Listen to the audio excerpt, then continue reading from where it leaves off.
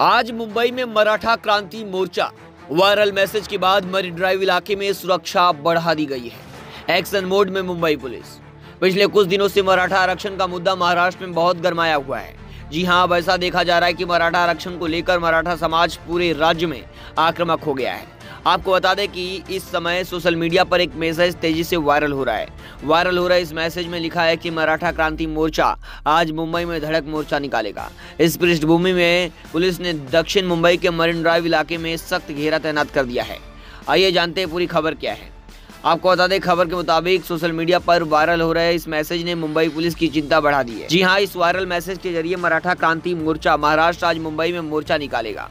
आपको बता दें, ये संदेश इस समय हर जगह फैल रहा है। लेकिन अब सवाल यह है कि ये मैसेज सच है या झूठ?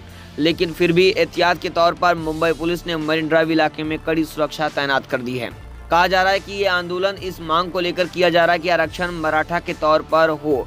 और इससे भी महत्वपूर्ण बात यह है कि ये कानूनी हो। ऐसे में खबर सामने आ रही है कि मार्च गिरगांव चौपाटी सहित तुकाराम ओम्बले मेमोरियल से शुरू होगा और सीधे वर्षा बंगले तक जाएगा, जो मुख्यमंत्री का आधिकारिक निवास है। ऐसा सोशल मीडिया पर एक मैसेज वायरल हो रहा है।